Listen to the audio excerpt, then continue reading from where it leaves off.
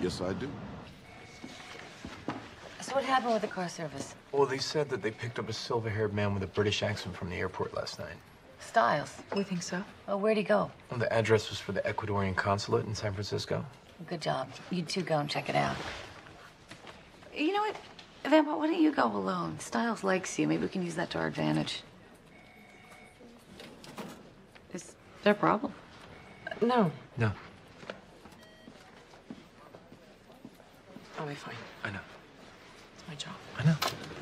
Hey, I love you.